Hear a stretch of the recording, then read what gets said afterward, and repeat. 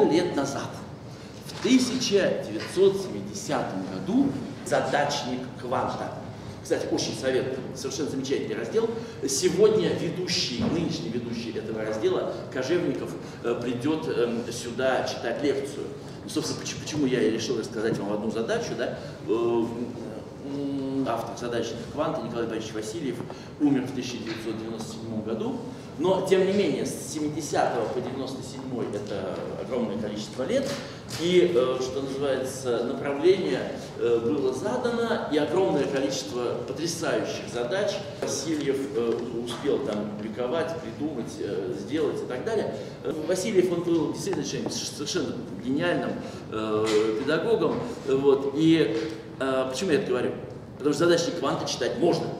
Потому что в интернете лежат отсканированные все журналы. Между прочим, я несколько лет назад потратил время и вбил в электронном виде все задачи, к тому моменту существовавшие задачи кванта. Сейчас хорошо бы на самом деле обновить, но тем не менее, там, 2000 штук там я вбил, и, соответственно, можно их, что называется, в виде одного текста, и там написано про каждую задачу, где искать решение. В общем, захотите, будете пользоваться. Задачник кванта – это действительно отличная подборка совершенно замечательных задач.